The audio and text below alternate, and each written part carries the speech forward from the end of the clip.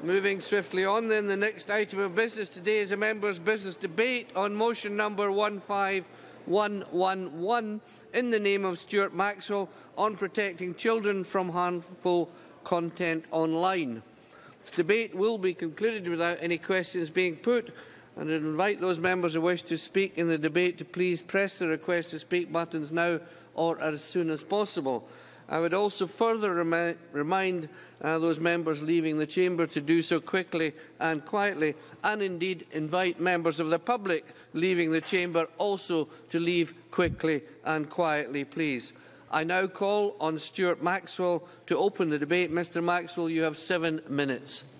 Uh, thank you very much, Presiding Officer. Um, I'm delighted to introduce this debate on the very important and topical subject of protecting our children and other vulnerable groups from harmful online content.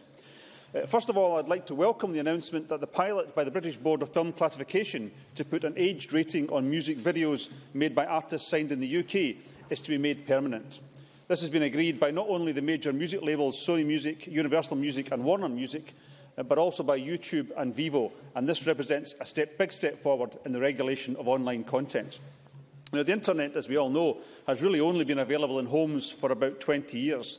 It's new and mostly unregulated, uh, a mostly unregulated medium.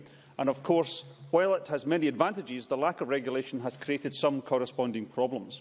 Now, these problems have been compounded in recent years by the increasing availability of mobile devices such as tablets and smartphones, which mean that children who might before have been sitting at the family's PC in the living room are now in their bedrooms where their viewing is entirely unsupervised. Uh, music videos only really began in the 1980s with the rise of MTV, but they quickly became both an integral part of pop songs and quite often a powerful video could help to sell a rather weak song. So music videos make a strong impression and sell records or downloads, giving them great commercial value. Now, the drive for sales has led to increasingly extreme lyrics and extreme videos, and the accessibility of the internet has contributed to that. Songs and images which could never have been commercially successful in the past because they would never have been shown on TV as they were too explicit, can be made and streamed on the internet to be viewed by anyone, anywhere, at any time. Now, in the past, people producing music and videos which they wanted to sell to young people had to get past gatekeepers to access radio stations and television, by which they could communicate with young people. And the radio and TV stations were licensed and regulated and the organisations which ran the media companies were answerable for the content which they broadcast. Nowadays, music and video producers can talk directly to a child without parents scrutinising or authorising what is being shown or said. Now, we're all aware how impressionable uh, children, and particularly young children, can be, and the highly sexualised or violent, and worst of all, sexually violent content of certain music videos is indeed, I'm sure, a great concern to many of us.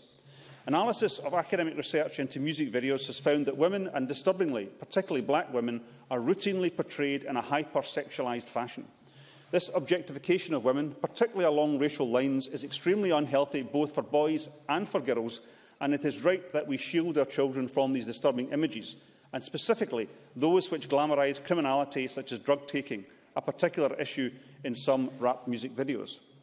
I'm therefore heartened that after the success of the BBFC pilot for major labels, UK independent music labels are now taking part in a six-month trial to submit their videos to the BBFC for age rating.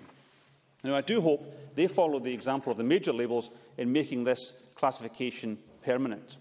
Now, I was interested to note that during the initial trial of the major labels, which took place in 2015, of the 132 videos reviewed, 56 were rated as suitable for children aged 12 or under and given a 12 classification. 53 were given a 15 classification and one video was classified as an 18. Now, this sample shows that about 50% of the music videos produced in a six-month period by UK-signed artists are unsuitable for those under 15. Yet I would be extremely surprised if they had not been viewed by a large percentage of children under that age. Now, one of the major advantages of this system of classification is that it is, the same, it is the same as for films and is simple and widely understood. Everyone with children will be able to interpret these classifications immediately. Now, a consultation carried out by the BBFC in 2013 of over 10,000 people across the UK found that the public has great confidence in these classifications. The public agrees with the BBFC's classifications in over 90% of cases. 95% of parents with children under 15 check the BBFC classification and 84% of parents with children aged 6 to 15 consider that the BBFC is effective at using age rating classification to protect children from unsuitable content. So the system that is used enjoys a high level of public confidence and support. And this is another heartening feature of this extension of the BBFC's classification system to music videos. Now, it's interesting to note that independent research into the pilot commissioned by the BBFC has shown that 78% of parents would value age ratings on online music videos, and up to 60% of those aged 10 to 17 are watching music videos that they do not think their parents would approve of. Now, a rating system would provide clear guidelines for both parents and children and make it easier for parents to impose and enforce rules in homes across the country about what could be viewed. I believe that many children will also welcome this classification system. I'm sure that there are young children who have been shocked and often distressed by some of the images they happen to have seen, and who would welcome the fact that they would have the security of being able to watch a video knowing that they would not be upset by what it could contain. Let me be clear, this is not about banning material that's suitable for adults. It's making sure that material that is not suitable for children is not available to children. Now, another heartening development is the decision by Scotland's four mo mobile networks, EE, O2, 3 and Vodafone, to place mobile content that would be rated 18 or R18 by the BBFC behind access controls and internet filters. It is worth noting that R18 is a special category for films that are particularly strong or explicit. R18 DVDs cannot be ordered by mail order and have to be viewed in a specially licensed cinema or sold over the counter in a specially licensed shop. It is particularly important, therefore, that this content is not available to children. The BBFC is the independent regulator of mobile content, and the system voluntarily adopted by the mobile operators means that filters can be put in place by parents to restrict people under 18 from accessing online pornography and other harmful sites such as pro-anorexia sites from their mobile phones. Nevertheless, there is a problem in that children can get access to these sites via their devices through public Wi-Fi in places such as coffee shops and shopping centres. So we have different standards which apply depending on how the information is accessed, whether through a public Wi-Fi system, mobile networks or home broadband. I believe that the time has now come to put stricter controls in place so that age ratings apply to accessing information via public Wi-Fi in order to create a consistent system without loopholes that protects our children and other vulnerable people no matter where they are accessing the internet from. So the BBFC's classification system is clearly a step in the right direction. However, only applies to online music videos for artists signed to labels in the UK. Non-UK signed artists are not covered by this classification system, and this is a problem. I therefore call upon US labels in particular, from where so much popular music, popular music emanates, to voluntarily submit their music videos to the BBFC for classification, particularly as some of the most controversial music videos come from the USA. Presiding officer, the BBFC is an independent, non-governmental body which was set up in 1912. So for over 100 years, it's been providing guidance for parents on the suitability of films and later on, in fact from 1984, guidance on the suitability of videos for children. It's to be congratulated for extending its role to online content to keep up with changes in technology, and I'm pleased to commend the work of the BBFC to the Chamber, whilst at the same time remind, reminding colleagues across this Chamber that there is still some way to go in ensuring a consistent approach to protecting our children from inappropriate materials online. Thanks so much. Now call on Graeme Pearson to be followed by Christina McKelvie. Four minutes or thereby, please. Uh, thank you very much, Presiding Officer. Uh, I stand in support of the motion uh, before us today from Stewart Maxwell and uh, congratulate Stewart on bringing this important issue to the attention of Parliament. Uh, the whole aspect of protecting children from harmful content is easily abused in terms of uh, are we being nanny statish in, in the way we uh, approach this issue? Uh, are we creating a problem where many people would say the right of access, the right of freedom is preeminent? I would offer the view that no, we are not being overly protective. I think there are issues here that Stuart has rehearsed for us uh, in his uh, input, which are of great concern to us. Uh, looking around the chamber and hopefully not being unkind to members who are here, I think this issue would probably be more uh, productively discussed at the Youth Parliament, who would understand the issues uh, a great deal better than the average age of those who sit uh, alongside me today. They are closer to the issue, and as I say, hopefully I'm not being unkind to my colleagues, but there's a, a, a not only a lifetime of difference between our aspects, but I think centuries of difference in terms of the approach that a 16, 17-year-old would take to the matters we discuss, to the ones that we try and, and develop here in the Chamber. Uh, and of course, uh, I thank Graham Pearson for taking an intervention. I think there's maybe potentially one of the younger members uh, in the chamber. Uh, I do I do agree with his point that it, uh, it should be also for the Youth Parliament to actually have that uh, discussion, have that debate, uh, and potentially they will uh, foster maybe a wider uh, a wider uh, kind of uh, contribution uh, from Scotland. But at the same time, certainly as one of the younger members who does have two young children, uh, I do think it's also very uh, relevant and important that this Parliament and potentially other parliaments and assemblies uh, within the UK actually have this discussion and debate as well. Give you a little extra time. Uh, thank you, President Officer. Uh, I do agree wholeheartedly with uh, what's just been said. Uh, I don't suggest for a moment that this isn't a matter for us, and, and hopefully I gave no impression that that was the case. Uh, it is important, but I think we need to listen to those in, in the youth parliament environment because they have things to tell us that we probably currently are unaware of, particularly in the context of the uh, technologies that we speak of, uh, that we are somewhat distant from the modern developments that occur almost daily. Uh, and we need to try and keep up to date with those developments. And hence, I think Stuart Maxwell has brought to our attention really important uh, impacts that arise from the access that can be gained to the internet by new developments. Har harmful content online demands that all practical steps necessary to protect children must be taken. And in this fast-changing world of new technology, government and other authorities eh, should keep abreast of the developments to maintain security.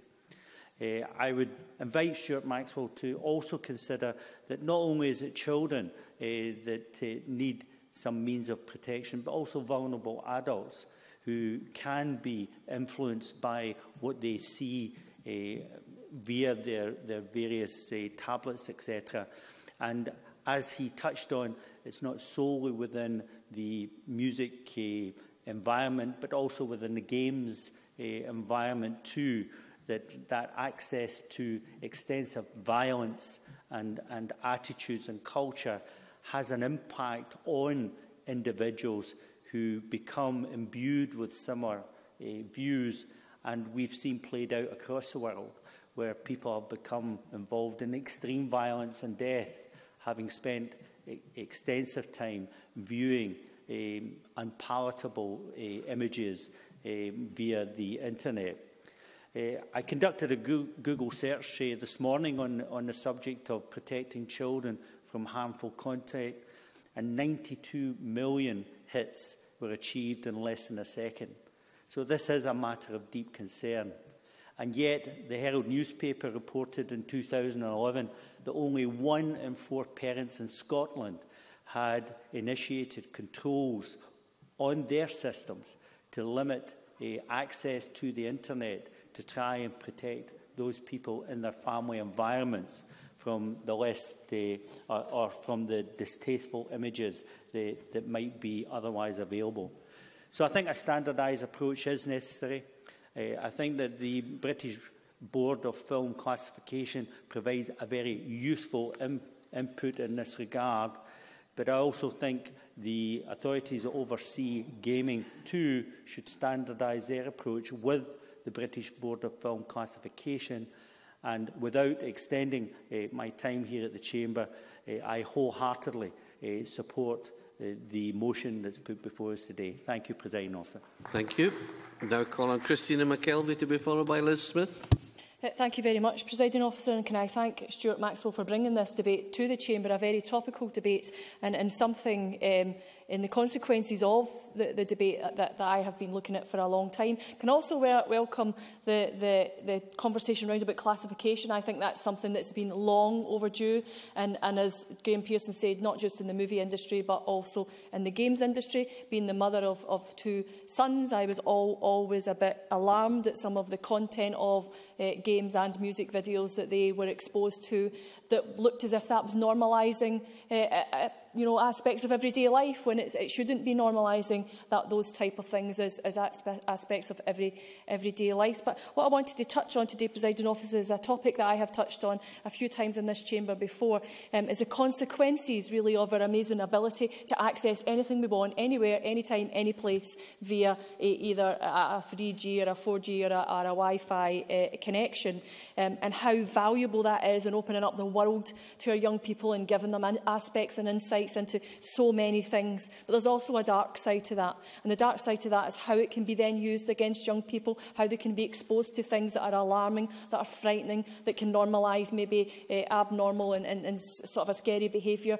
Th those type of consequences are, are where I want to, to go with this. And in this chamber before, um, I raised very early on in the debate um, the issue about revenge porn and how that can be used, the sharing of int intimate images can be used, the issues around objectification of women and again how that can be uh, used to try and normalise a partner behaviour that, that makes it okay to, to uh, uh, get involved in, in some of these things.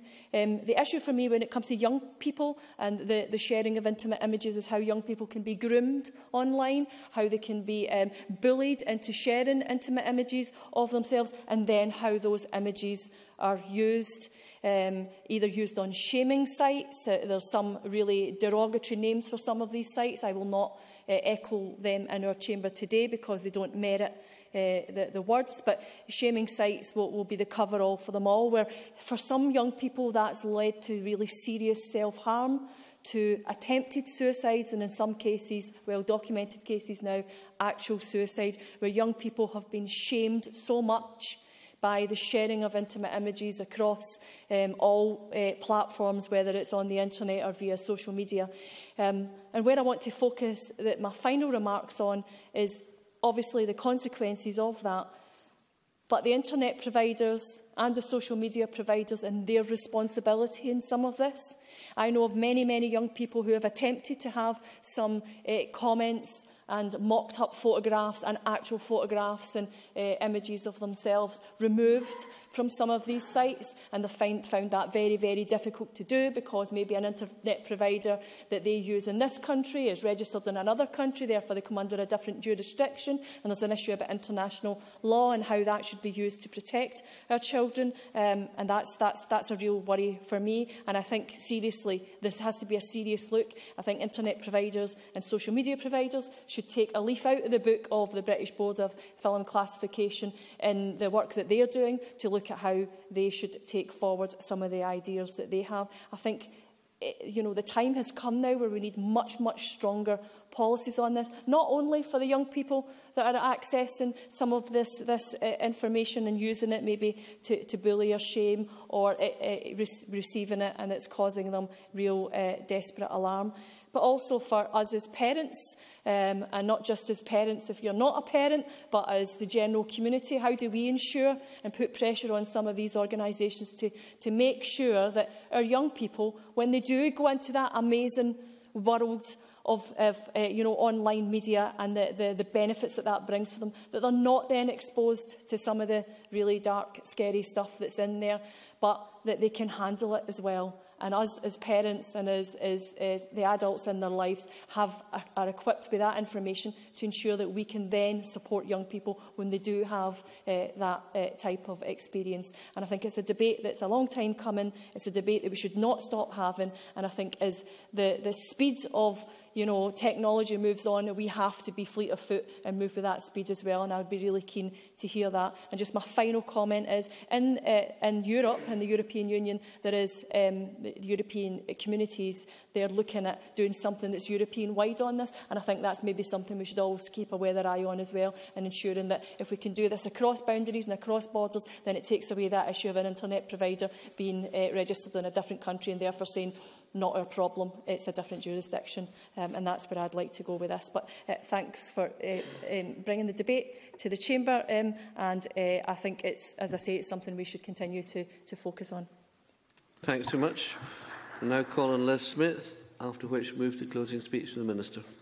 Uh, thank you, Deputy Presiding Officer, and uh, can I congratulate uh, Stuart Maxwell on bringing this debate to Parliament because it's quite clearly an extremely important one, and can also uh, pay tribute to the preceding speakers, who I think have uh, made some excellent points. Um, the fact that children and young people are accessing uh, potentially harmful content online is a matter that concerns us all, and that can be particularly the case, I think, when it comes to music videos, given their uh, very wide-ranging popularity, um, which uh, obviously didn't have until very recently uh, the age ratings. And parents are quite clearly uh, very right to be worried about the ease of access uh, to these and the challenges that that presents, uh, as have just been set out by uh, Christina McKelvey. Because uh, it's very well known that some of these music videos contain uh, very explicit, uh, violent and sexual imagery that is uh, totally uh, unsuitable.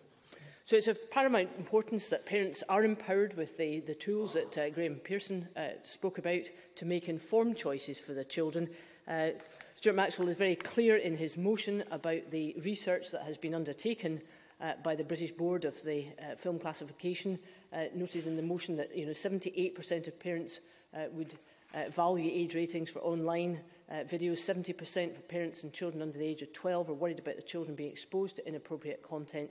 And furthermore, obviously, uh, the same body has found that as many as 60% of the children actually surveyed uh, said that they have watched music videos which they know that the parents would uh, really not approve of. So, you know, I think this uh, is a message from children just as much as it is uh, from the adults. And I think it's the combination actually of uh, parents uh, and their children uh, that actually can take us uh, quite a long way forward in trying to address it.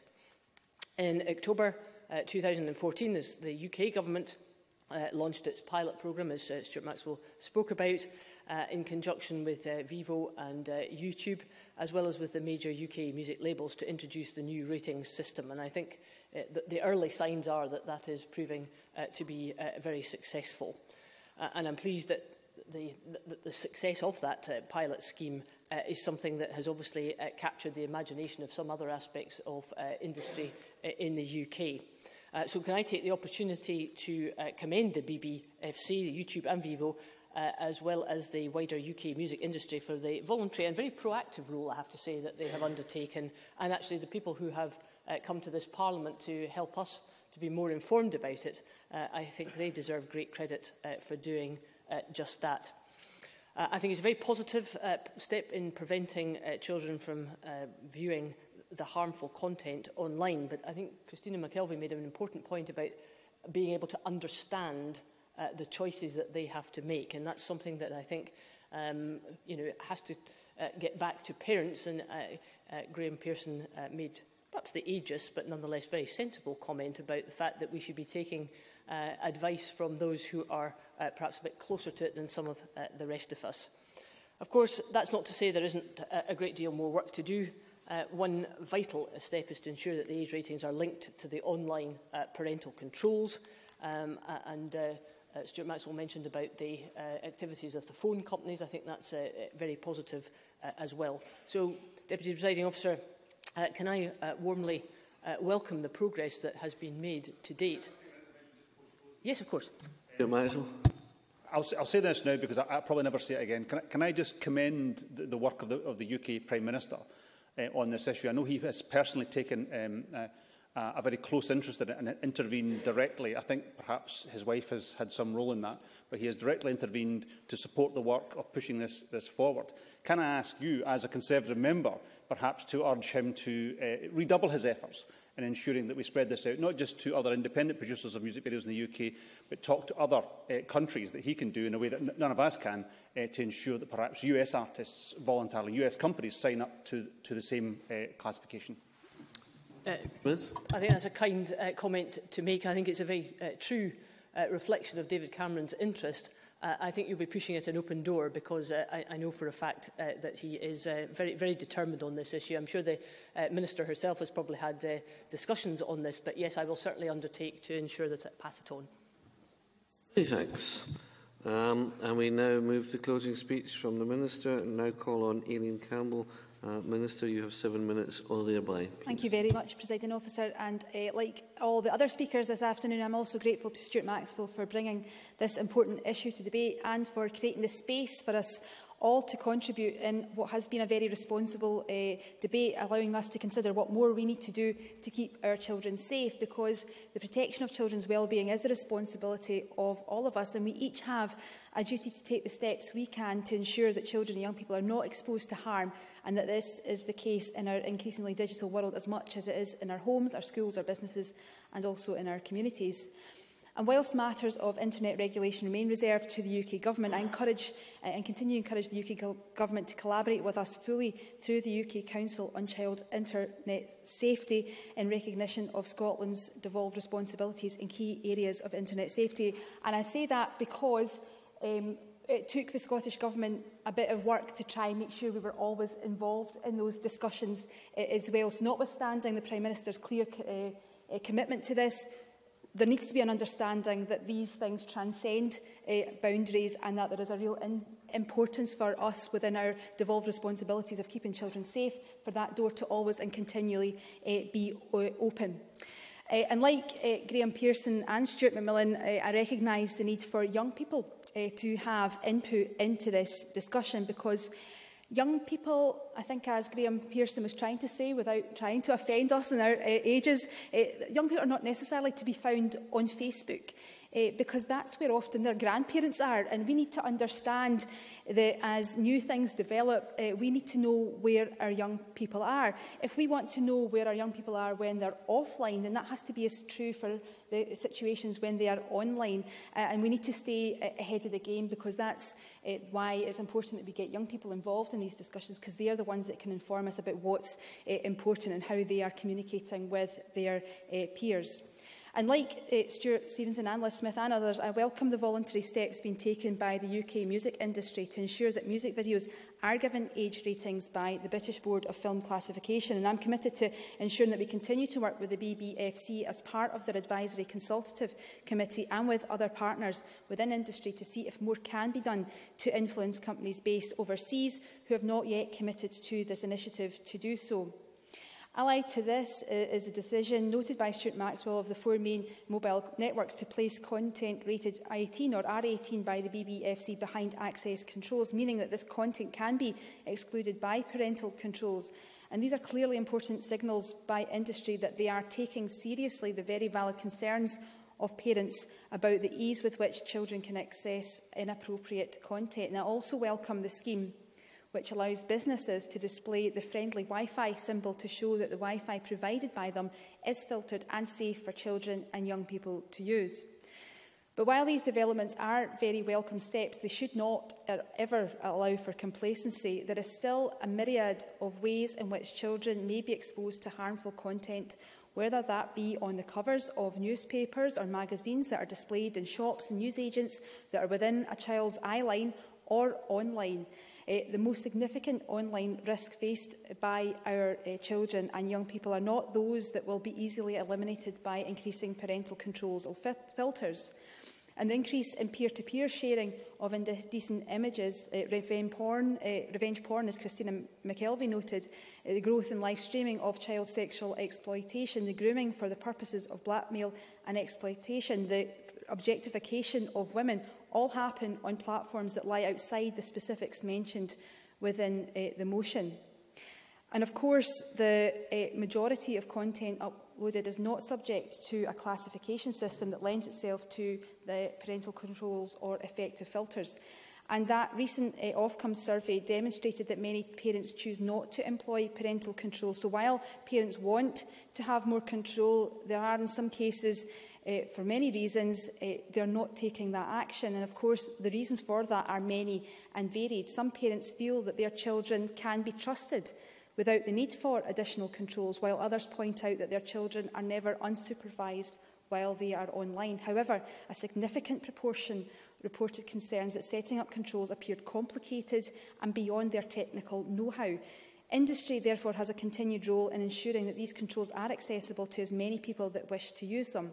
But there's also clearly a job of work for us to do as well. And that's why the Scottish Government's digital participation strategy focuses efforts on helping everyone to develop the skills and confidence to become di active digital citizens, enabling parents with those concerns to have help available should they wish to use it.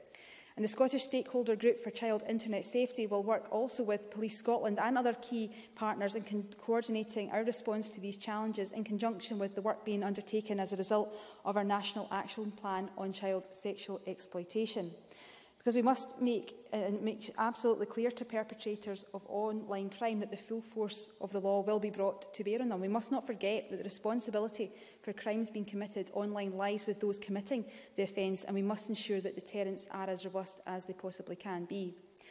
Moreover, the National Sexual Crimes Unit within the Crown Office is doing important work in increasing successful convictions of sexual crime and the Police Scotland's National Child Abuse Investigations Unit complements this by providing consistent high quality support for robust investigations into reports of complex child abuse and neglect, including child sexual exploitation and online child abuse.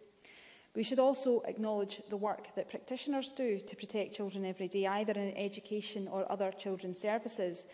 There are many examples of original and creative approaches being developed by schools and youth groups to educate our children and young people about the risks in a meaningful way that engages with them where they are.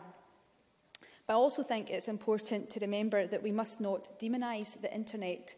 As many members have noted, children and young people use the internet in ways unimaginable to those of us who did not grow up in this digital age. And we all want to see a Scotland where children are encouraged and enabled to benefit the huge opportunities offered by digital technologies.